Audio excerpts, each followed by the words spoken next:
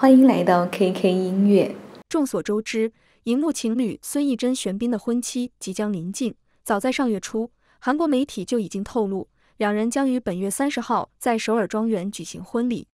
但由于韩国本土疫情以及其他因素影响，夫妻二人并不打算将这场婚礼对外公开，只邀请了双方的朋友、家人参加。这样一来，想必婚礼现场的生图还要晚几天才能公布了。可就算如此，中韩两国网友依旧是期待满满。据悉，玄彬孙艺珍选择的结婚场地也是大有来头，它坐落于首尔郊外，距今已经有百年的历史。当初金喜善等明星结婚时，都选在这里举行。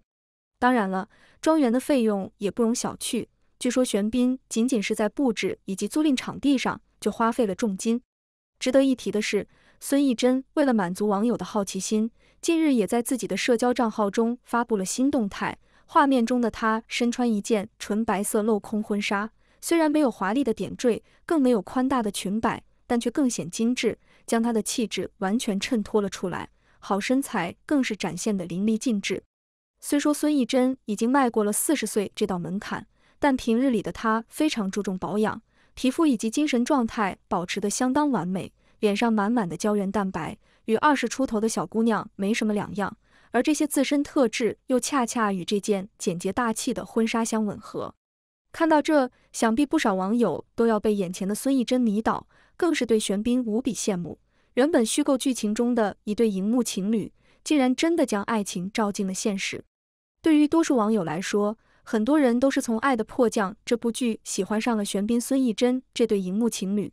剧中原本属于两个世纪的人，机缘巧合之下走到一起，但因为种种原因，他们只能把爱藏进心底，每年中也只有两周时间能见面。如今，牵动无数观众心弦的尹世莉与李正赫，终于要在现实中修成正果，怎么能不叫人激动？更难能可贵的是，孙艺珍还透露，玄彬是自己的初恋。虽然他混迹影视行业多年，与众多男演员有过深度合作，其中也包含不少经典的爱情影片，但都没能擦出火花。这也致使他年过四十仍旧孤身一人。现在看来，冥冥之中似乎早有安排，孙艺珍要等的人终于出现。其实，早在两人拍摄《爱的迫降》时，外界不少观众就隐隐感觉到，两人无论是戏里戏外都是那么般配。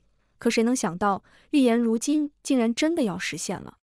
作为韩国娱乐圈的两大顶流，同时又是影视行业中的两位实力派演员，玄彬与孙艺珍的结合无疑将成为行业中的一段佳话，同时也能让那些坚持认为娱乐圈没有真爱的网友彻底闭上嘴巴。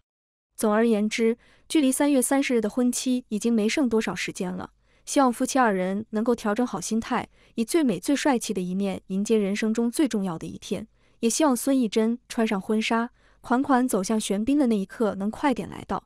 对于两位新人的婚礼，网友们是否感到期待呢？